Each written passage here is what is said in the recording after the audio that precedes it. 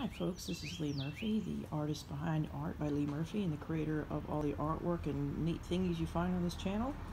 And in this video I wanted to share with everybody uh, my solution for uh, pochade, pochade box. What It's just a fancy word for the box you bring with you when you want to paint and draw on location uh, as an artist or even just a little traveling writing box. You know, people don't really use as many, use briefcases so much anymore in the age of the laptop computer and such. But uh, I was inspired by this from one I had seen online, but it was beautiful and it had a lot of neat features to it. But, excuse me, bug, where someone else. It didn't quite have everything I wanted for the price it was going to cost, but considering the work that goes into these things, it's a fair price. So uh, I ended up doing my homework and deciding what it is I really did want, and the bug's just going to stay there, I guess.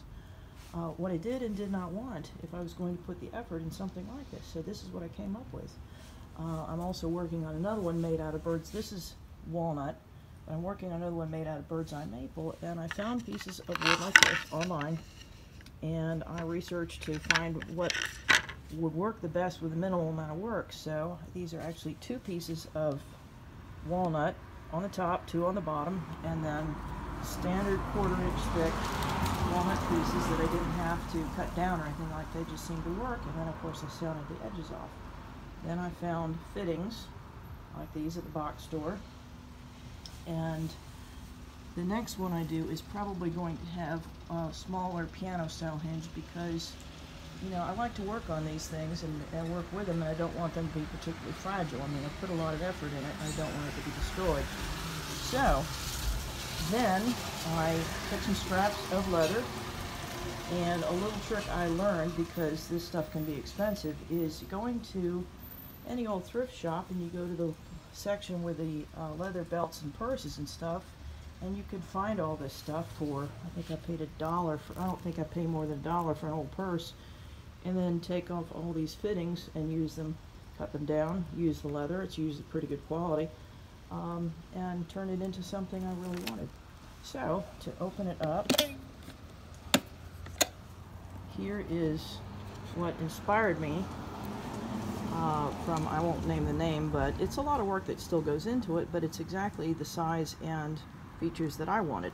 So there's another scrap of leather that I used smaller wood screws with brass washers so they don't poke through this rather thin wood. I mean, walnut's pretty hard wood, so it's pretty sturdy. And then I sewed in typical one inch um, elastic to hold exactly the pieces that I wanted. Then I super glued a magnet in there to hold the clips, and then of course I bolted on these uh, little alligator clips, or whatever you want to call those things, for reference photos or things that I might want to have with me to draw if there's nothing I want to draw on location. And then I used uh, wide weave tulle ribbon to sew this particular pocket. And then I used more of the elastic to hold it in there, to hold all my little fun stuff in there with like extra ink. And I have a stamp in there, um, something to mark pages with, and extra there's the stamper right there, extra paintbrushes and anything else that might seem to work for whatever it is I want to do with the project. All right, Bug, you need to get out of there. So, as you can see, when I back off here, it's just the perfect size for what I wanted. Um, this is a size of book. Well, here's two. Here are two uh, Moleskine um, books that I covered up with neat paper. Um, and they just seem to fit in here pretty well for the you know for the reasons why I just said. And then here is a journal that is my favorite size and it's just enough to get in and out of here without shuffling around inside getting all beat up and there's the subject material for it. And nice little jar. I usually use whatever bottle I'm drinking out of at the time water bottle so I don't have to worry about it spilling in here. And here is just a simple uh, traveling watercolor kit. Everything I need and nothing I don't.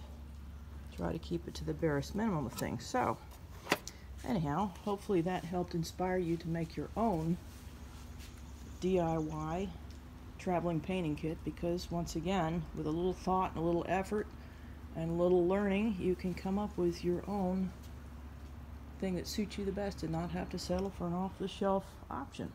So hopefully this helped and thank you for watching.